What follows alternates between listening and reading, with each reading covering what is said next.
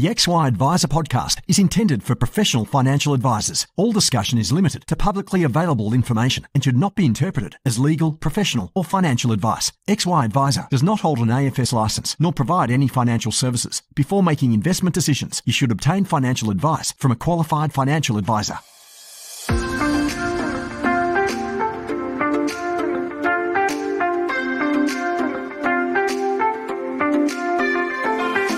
Financial advisors help Australians live better lives, and we're great at it. But what about us?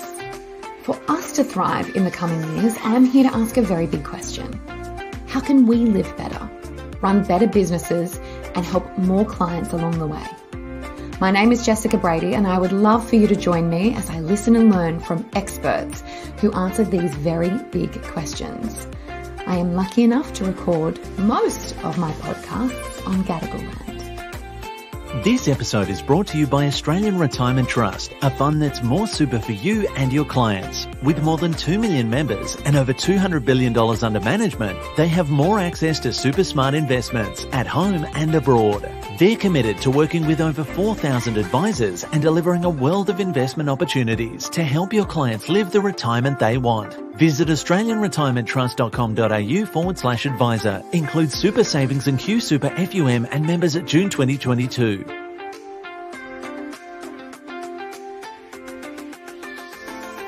Hello, wonderful XY community. This week I am interviewing Richard Felice. He is a partner at Belay Advisory. What struck me about this week's conversation is the sheer humbleness that Richard has. He's built a dynamic, really interesting business over the last couple of years. We talk about the growth of that business, the pivots he's made, the value of mentorship and understanding your niche client. Enjoy. Hi, Richard. Hi.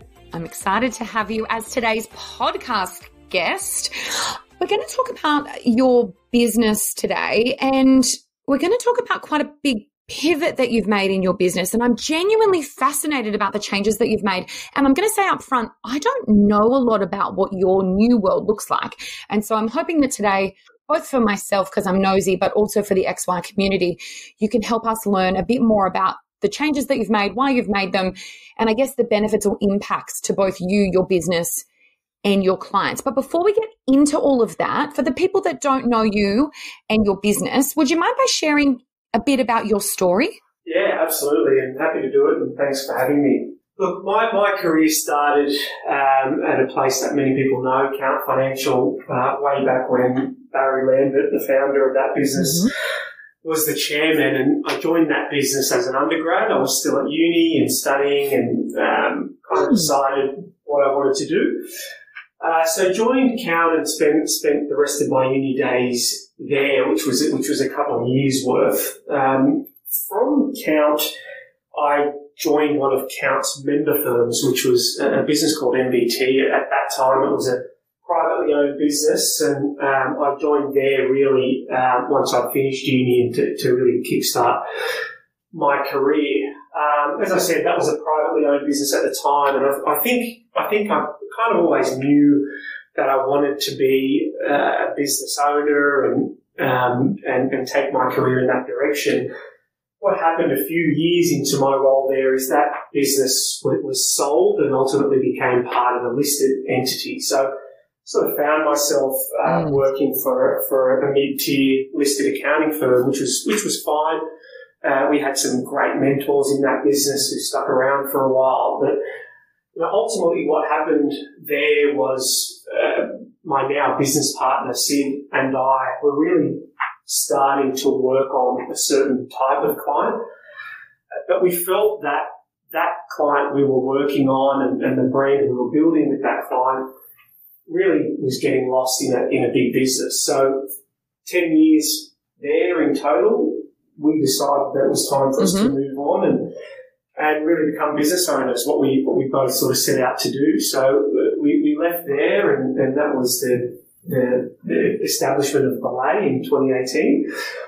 And, and really mm-hmm. it's all about the brand. We wanted to work with founders, executives, family offices, um, and we're really excited about that. And, and, and that's what we do. We stay true to that and we've kind of got that business now where where we are business owners and have an element of control and, and all the headache that comes with that, of course, but, but equally mm-hmm. have built and can build a brand with, with the clients that we really enjoy working with.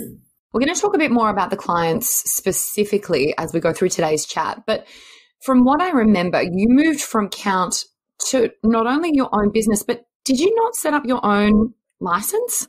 Yeah, so so the timing of our departure from from um, that business that was in BT, uh, essentially we resigned and two weeks later the Royal Commission kicked off. So fortuitous in some mm. sense, but kind of made us really realise what was important to us and our clients. And um, self-license was a, was a big thing to take on, but we felt, well, we left that business and started Belay to be in control and just with everything going on, we felt like being mm. self-licensed was really, really critical for us and certainly important for our clients as well. And look, I've got to say that's that's probably the best thing that we've that we've ever done um, in, in, that context. I, I just mm. think it was it was really transformational for us. Um, again, it, it, was tough and it, it, was a lot of time and we learned a lot. It was a, a really steep learning curve, but uh, really, really important to us and our clients, as I said. So yeah, we, we sort of, I mean, the timing wasn't great by any means. As, as I mentioned, it was Royal Commission. We were going self-licensed. I just had my second child. Um, my business partner Steve just had his first and was getting married. So there's kind of just stuff all over the place really, but, um, super stressful and a lot to work through at the time, but really, really happy it wouldn't change a thing where we stand today man to my own heart to just take on way more than you can probably cope with and then just figure it out on the fly. what advice do you have for some for someone who's perhaps sitting in your shoes now? Maybe they're part of a bigger business and feeling like, okay, we we we're thinking about self licensing, we're thinking about you know having the, the level of control and autonomy and rigor that you need to, to move into that world. Do you have any tips, tricks, or thoughts for someone who's currently contemplating self licensed land?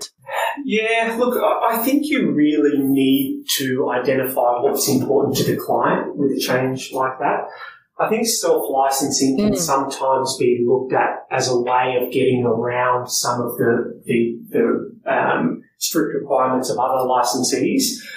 Um, but it really needs to be about the client, and that was the driver behind our decision that, okay, well, can we actually do better work, better quality um, work for the clients as a result of this? And what does that look like with a client lens? Because at the end of the day, they're the people that you're mm. going to have to take on that journey, and, and you need to have a pretty good reason as to why you're doing it.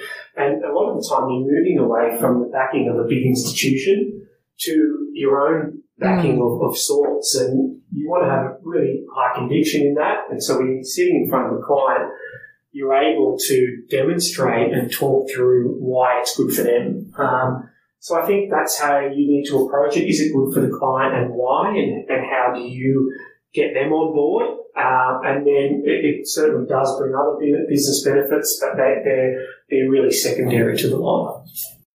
You raise an interesting point around, you know, sometimes, and, and maybe it's not as strong as it once was, but sometimes clients would come and there would be some comfort in the idea that it is backed by a big brand. Again, I'm not sure if that is as important as it once was, but what was your experience? Did you find that most people were quite happy with the idea of independence and autonomy from a client perspective, as you say, given the Royal Commission?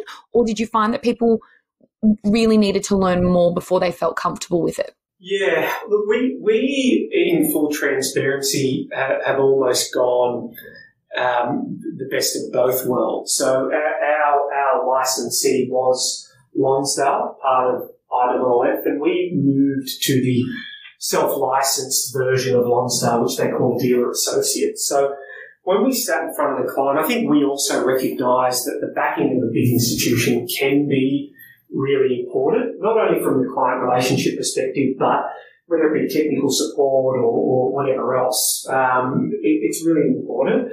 So where we found mm. comfort and where we found that the clients were really happy to be a part of it was it was the best of both worlds. We've still got that that backing of the big institution, but we, we're in control um, and we can pave our mm-hmm. own path uh, with their support. Um, and so again, Brilliant. You know, for, for, a number of reasons, we haven't gone the full way, but I, I think that was um, that was the, the, the sort of middle ground that we found to be to be best for, for our clients.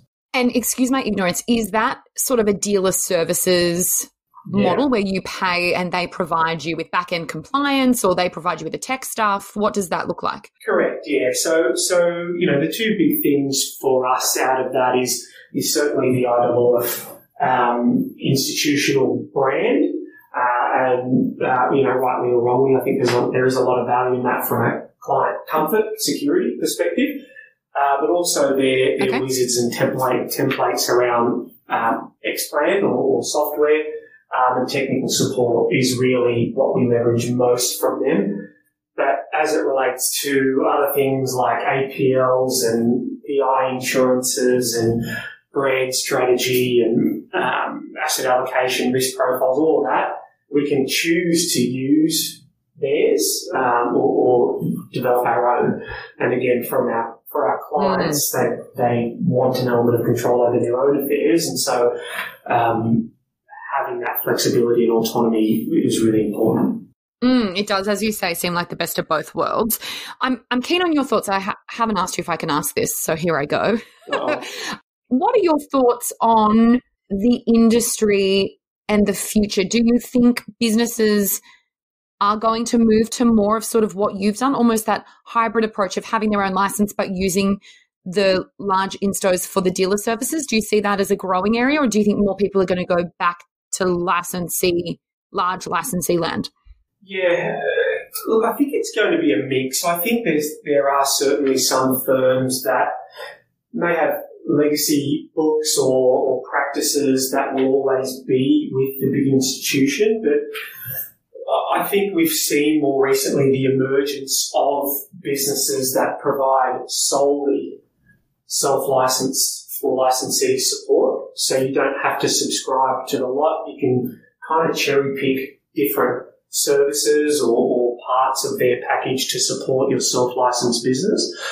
So generally, I think there has been and will continue to be a move away from the big licensees. I think there'll be the emergence of these purpose-built businesses to support self-license, and I have no doubt that that the the firms that have the scale or or first and foremost the client desire to become self-licensed will, mm. um, and I think that's that's showing in the numbers and very, very few advisors you speak to that have got a self-license regret it. Um, and so I think that's that's absolutely a, a, common trend that we'll continue to see. Interesting. Thank you for that. Uh, you mentioned uh, earlier on about mentors when you were at Count. I'm really fascinated by, I guess, your mentor journey. Can you talk a bit about how mentors have impacted your business, but also your clients? Because your story is quite unique here, I think. Yeah, hugely, hugely important. I think we're, we're um, under no uncertain terms feel that we are working with a, with a type of client that are really successful, have really high uh, standards of, of what we need to deliver on and are generally older and more experienced than we are. And as, as young guys and girls that are providing service to these, we need an element of experience and, and you know, quote unquote, the grey hair factor within our business or network. And so I found my old employers at MBT, the, the count firm that I first joined, really, really pivotal in, in testing our thinking and not believing our own BS and really just being people that we can rely on to make sure that we're, we're keeping client focused and, and heading in the right direction. So I think it's such an mm-hmm. important business business decision to have uh, mentors, but equally for personal and professional growth, to have people that inspire you and that, that um, you get excited by their careers to to give you um, their time and energy. And um, oh, yeah, as I've said, I think it's really really important. Agree. And as you say, to have someone challenge your own thinking and your mm. your BS can be yeah. extremely beneficial and so effective in terms of cutting out wastage of time and of, you know, money and of trialing things. How did mentorship look for you? Was it something that had a rigor, a cadence, a regularity, or was it just sort of ad hoc? What did you do to make the mentorship work for you? Yeah, and, and I haven't thought about it until now, but when I first started at MBT, it was almost forced upon us um, to say that as part of your personal and professional growth, you will have a mentor and you will meet with them X number of times per year. Now, the asterisk there is that those mentors were within our business. If you didn't have an outside mentor, you could access someone within the business, almost like a buddy within the business.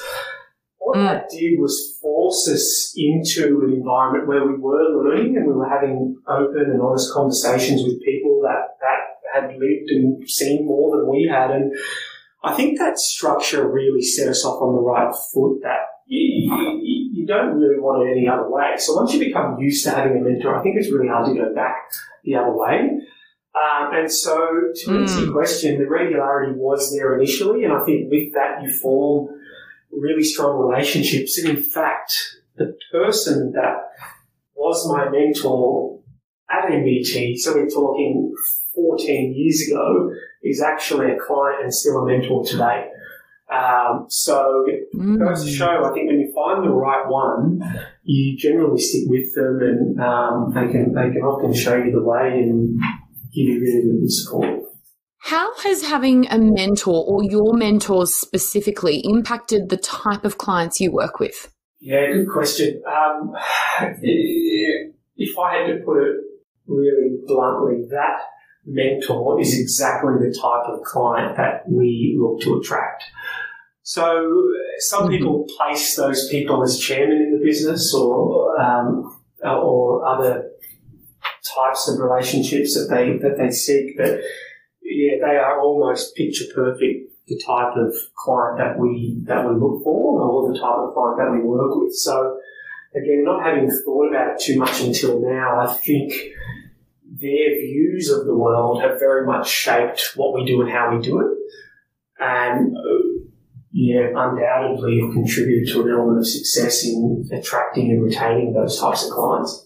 And let's just sort of help people understand you're working with people that are really at that high net wealth, ultra high net wealth family office style uh, level, correct? Correct. Yeah. Yeah, that's right. So our, our, all of our clients are founders, executives, or family offices. Um, and so, family offices is a word that's sort of thrown around a lot these days. But you know, private, wealthy private families um, is another another way to determine to determine it. So they are CEOs or CFOs of private and public companies. They've sold businesses and done really well um, out of that transaction, um, or they are sometimes first, second, third generation of um, of uh, of wealth.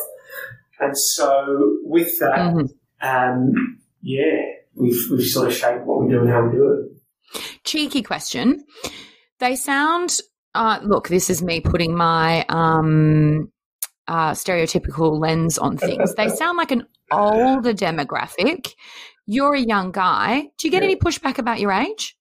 Not, not anymore. Funnily enough, I, I think I think part of that is there is a there's a track record of working with these types of clients, and I think a lot of the new clients that come to see us are referrals from existing clients. And so I think the way that we attract them um, definitely mm. has a, a, really, really important part of, you know, whether it's overlooking or just reducing in importance the age factor. Um, but I think critically, as I said before, we've made it a point to surround ourselves with people that are more experienced than we, than we are. So um, a couple of those people, mm-hmm. you know, the mentor I spoke about, who is a client, and we look after, you know, some of his close friends and family, um, all the way through to our investment committee, who, who is headed up by Giselle Roux, who has spent her career at Escala and, and JB Were as the CIO. And again, I think clients are, are, more comfortable if you're in good company of people they may respect or have, have the right level of experience. So I think we've we've been really deliberate about uh, who we bring into the business and what role they play, and I think uh, that helps with the older client uh, who may be first generation. I think I think just the other part of that is a lot of these guys are planning for future generations. So so the scenario is often that there is enough wealth there to last their generation, and they're thinking about generations two, three, four, and five more often than not, we are the age of that second generation. Um, and so when you look at it from mum and dad's perspective, there's longevity in that relationship. So we've looked after mum and dad for 10 or 15 mm. years. Um, their son or daughter is, is a similar age, similar interests to to us, and you know all of the lay look and feel uh, similar to me in terms of age and demographic and interests, and that's deliberate. And Mm. They see that you know they don't want to deal with with um, somebody that might be your, your more typical investment advisor or accountant. They want to deal with someone they, they enjoy working with, but equally has the experience and and care uh, to take them and their future generations forward. Um, and so I think you're right. I think earlier in the piece, the age piece was important, and we had to we had to navigate that. But I think as of today, um, second generation, we really feel like we're much more aligned in in in where we're all going. I think it's actually really rare. You know, like I think the majority of people that look after the similar demographic to what you look after probably have people your age almost as successes within the business, but it's fascinating to hear that um, it's not an issue. And maybe it's just because now you've had kids, you've got more grey hair. So maybe you just look older as well. People tell me that. Did somebody um, tell you that, to say that? No. no, I'm joking. Like, you know what? I'm it joking. is rare. Um, it is rare, and I can tell you that because yeah. we're trying to find people um, that that are again culturally aligned to the rest of the team at Belay that have experience in working with a similar type of client, and they are very, very difficult to find. Um, so, you know, that, that's not by design, but yeah, we feel that's a really key point of difference for us. And even if you find them, again, something that we uh, really, really value and the client really, really values is the integration of the tax and business advisory services. And so someone that was born and raised in a similar environment to us, we don't make an investment decision without knowing the tax and business consequence. Again, it's really, really hard to find. So when we talk to a mm. client about our value proposition, more often than not, demographic and longevity relationship as well as the integration of the tax and wealth piece is, is discussed at length. Interesting. I want to talk about some changes that you've made or evolution, I guess you've you've had within the business to look at I guess I guess my question is is it from an efficiency standpoint and how did you get here? But let's talk about moving away from solely the traditional, I guess, retail model to having wholesale clients. How much of your business is done through sort of a wholesale lens now? And what has that transition been like for you yeah um, so by the day more and more of our business and our clients are transitioning to a wholesale relationship when i spoke about the early days of our career again just just the way it sort of worked out is all of those clients by accountant certificate definition tick the sophisticated mm. investor box.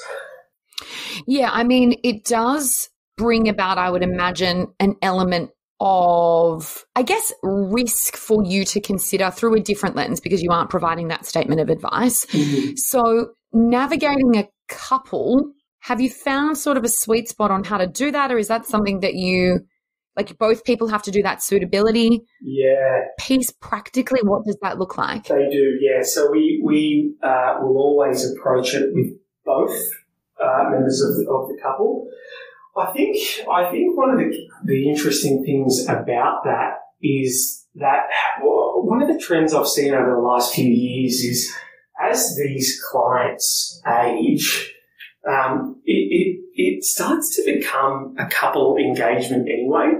Um, and so clients are always thinking about succession and what if something happens to me and, um, you know, is, is, my partner across all of this? And in the last few years, um, we used to meet with maybe it was just the, the, the uh, male or maybe it was just the female, but now both male and female are coming um, to the meeting. So I've got to say we probably haven't had much of an issue of working through it and acknowledging that uh, both of them have made investment decisions together, jointly signed off. Um, they're both actively part of the conversation. And given this wholesale transition's only really happened in the last 12 months, um, then uh, yeah, we haven't really run into that as, a, as an issue. That's amazing. And I think that's a sign of the strength of the relationship you obviously have with both. So well done, you. Yeah, well, yeah, either that or, um, yeah, aging clients they start to work out what their priorities are, and we we are somebody that can sort of help them along with that, I guess. Yeah. So, given this is quite a new evolution within the business, what have been the benefits? The core of our business is investment advice. Um, and so uh, you've sort of got two types of businesses in this space. You've got your more traditional financial planning business where it is about um, cash flow and saving for houses or property or, or building hmm. portfolios in accumulation mode. Um, and there's a lot of strategy that comes with that. Um, our our advice is mostly investment advice and investment strategy. And so again, mm. when we're looking to deliver really good outcomes for these clients, I think some of the learnings over the few years is that most public market investments, certainly share market investments, move in the same way pretty much all the time. And so what it's allowed us to do for the benefit of the client is spend more time on private or alternative assets, um, mm-hmm. run them through our process, and again with the support of our investment committee, and invest client money with um, with sometimes a more more predictable, but certainly a more stable um, return in mind. And I think as you run through that and, and identify the proof points along the way, we've been really, really happy with that as a decision. Um, there's a lot to that, of course. I'm sort of skimming skimming over it a little bit, but there's a lot that mm. goes into that. Mm. Um, but clients, you're making it sound easy. It's not. It's not. Sorry. Um, yeah. And, and I could bore you with the detail behind it, but but people like Giselle in our business and more recently, um, Alex, who's kicked off our Melbourne business, who, who's come out of uh, PwC in Melbourne and is one, one of the first employees of the private wealth team over there. These are the sort of people that that really test the thinking and help us deliver on this. Um, but we've made an important point within and externally to our business to partner with the right people um, again, to make sure that we aren't believing our BS, but also that um, we're not getting excited by returns or whatever else. It's very, very methodical. It's very deliberate. Um, it's it's mostly with uh, risk lens and what can go wrong, and we make decisions um, on that basis. How big is your team now? Uh, so we're now a team of twenty ish. Um, kind of, yeah, I think it's about 20. So, um, that, that doesn't include the externals that, that, that we, we call partners in the business uh, or partnerships. Um, so it's, yep. yeah, it's kind of been a, a few years of, of um, really steady growth. And when we, when we started the lady said we wouldn't, we wouldn't kind of um, get to being a, a, business of the size that we are. But I, I think one of the key differences, again, that's been really deliberate, is each person we hire is with a specialist skill in mind. And so it comes back to what are we delivering to the client and do we actually have somebody on board that can do this? And if not, we need to go to the market and find that person um, to help us do this properly. So gone are the days where we used to wear multiple hats and kind of learn things on the fly. I think each of us know what we're good at and the space that we play and we keep in our lane and, and we, we bring other people on board that are excited about what we're doing and who we're working with to, to help us expand that service.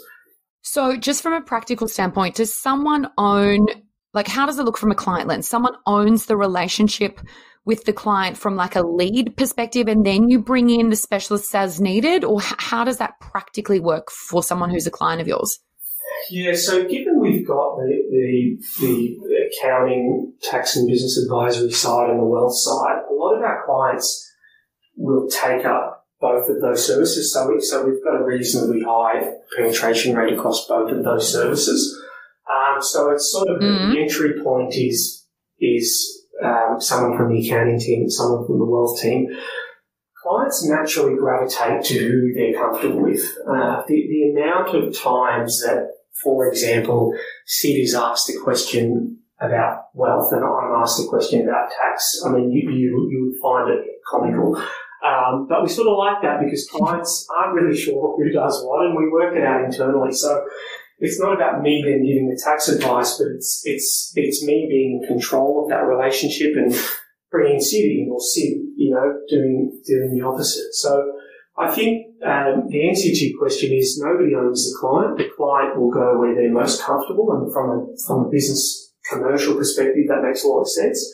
And then as we require something that might be out of scope of that person, we bring them in uh, into the meeting. So we will often have two, three, or four of us sitting in the meeting with a client, and we, we really just work through it as, as a team. And that's the way we position our engagement a team approach. Um, and we'll have different skills, complementary skills in the same room, and, and we, we work through it, whether that's the investment advice, whether that's philanthropic advice or whether we bring somebody around succession, um, it looks and feels depending on what the client needs.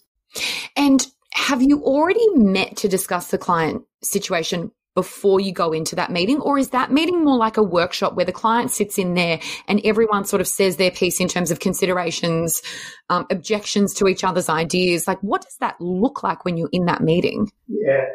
One, one of the one of the challenges um, over the years is the, the right people being across the client situation. So We've done a lot of work on the transparency of client information. So, so many times I'll have a conversation with the client and, um, you know, kind of take that away and, and do my bit, but nobody else knows I've had the conversation. And then, for example, Sid comes into the meeting and, and really he should know that, and that's that's my responsibility to let Sid know that, so he's not blindsided in the meeting. Mm. And the client expects us mm. to all know that we're under the same roof. It's it's often why they engaged us because there's an expectation that we'll share the information and then roll across it. So mm-hmm. uh, through systems and processes within the business, um, we've and I can't tell you all our secrets, of course, but there are ways that we don't tell me all of them. I, can tell. yeah, I can tell you some of them. Um, there are ways that we share client information and conversations um, in a way that it's sort of like a notification, so you can't you can't miss it. Um, the other side of that is we're always talking about accountability with sharing and being across the client situation. So it's up to me if I'm going to meet with the client to get across what's been going on through the systems and processes, but also talking with the key people to make sure I'm really well prepared. And again, um, you only have to learn that the hard way once to to make sure that you put the mm. time and energy into it before that meeting. Absolutely. And I know from my old BDM days, one of the big challenges for businesses that was similar to yours in that they had that accounting piece and that financial planning piece was often they were working off two different types of technology that didn't integrate or talk to each other. And it was hugely challenging. It sounds like you've perhaps solved that from a tech perspective.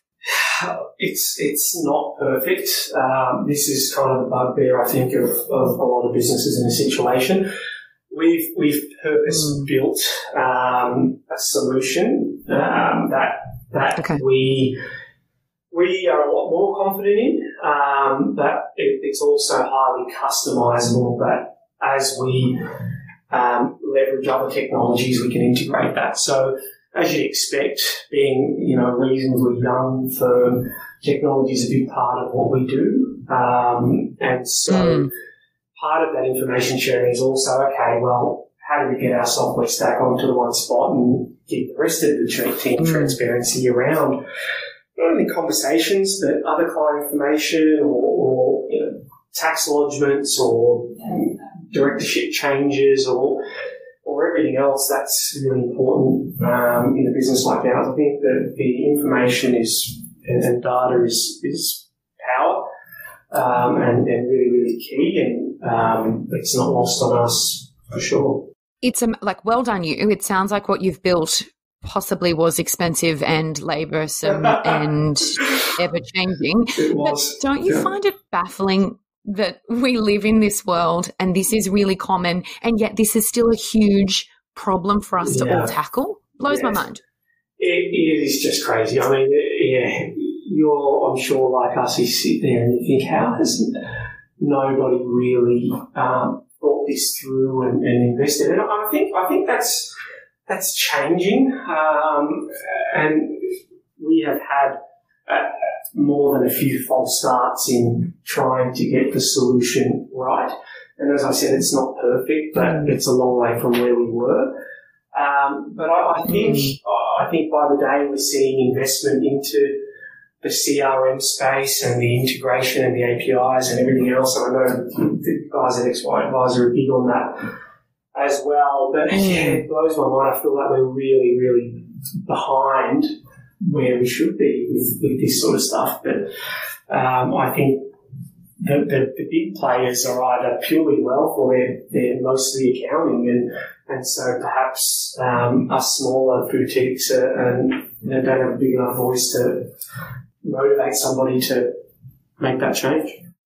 Well, dear um, technology providers, if you could please hurry up because it's so frustrating and it's so tiresome and confusing and ultimately it's unprofitable and costing client relationships because we spend so much time on it. So please hurry, hurry, yeah. hurry, hurry. Hopefully that is the catalyst for a change. I've got confidence. I mean, obviously I ask for something, Richard, and it just happens and that's how things work in my life. if only, awesome. if only. Um, a practical question on the size of your business. So 20 is big. Yeah. 20 is big and you need to be congratulated because that's a, you know, to think of all the big life stuff you've done and business stuff you've done in such a short space of time. Well done, you.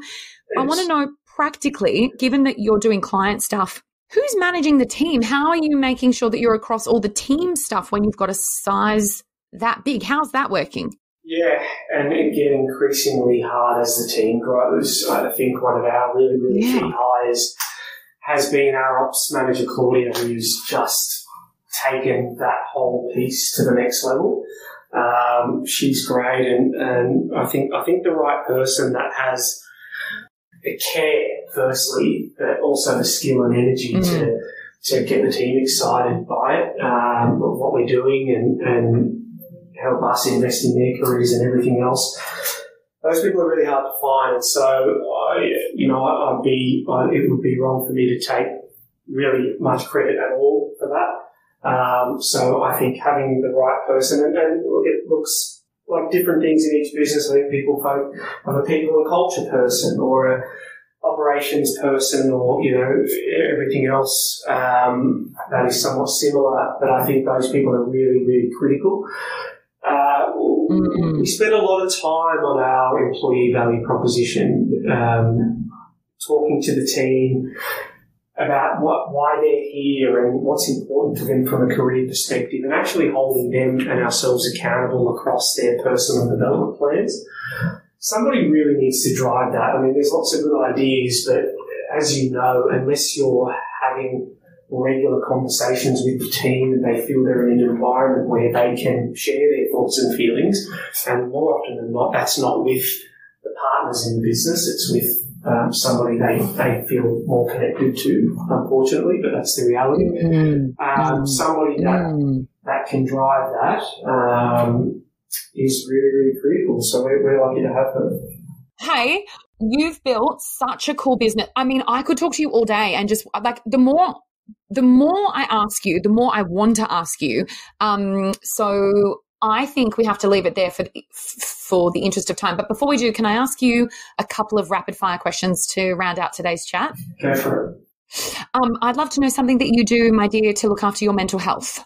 Uh, keep active for sure. Number one thing. So, um, you know, our office, including myself, is a ghost town around lunchtime. Uh, there's mm-hmm. 10 members doing yoga. We're out for a run. We're kicking the soccer ball around. We're at the gym. So, mental health is so, so critical. And I think having an active lifestyle really helps with that. And that's something um, I've always done and hopefully can continue to in the future.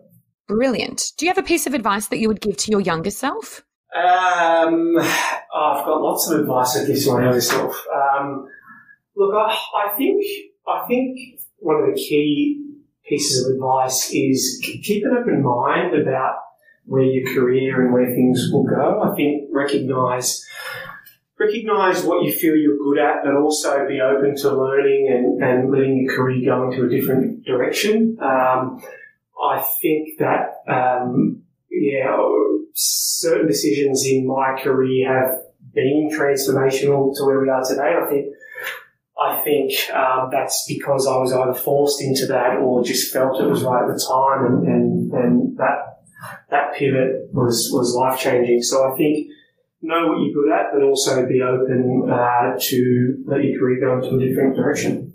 Great. What is something that's on your bucket list?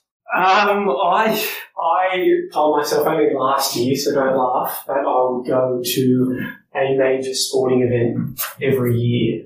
Oh yeah, that is probably lots of things on my bucket list. But if I can if I can tick that off, um, then I'll then I'll be very happy. So you don't mean just like go to the football once a year? No, because that would be enough for me. Mm.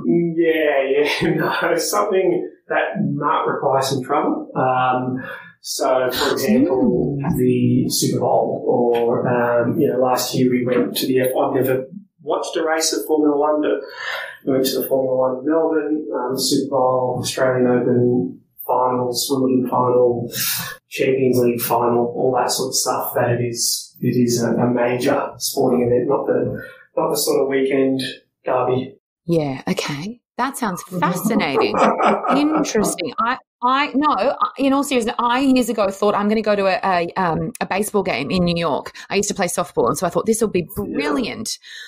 Oh my gosh! After about two and a half hours, I was like, "When will it end?" I didn't realize how long they are. yeah, I think that's pretty common feedback for baseball, so I might leave that one off the list for now.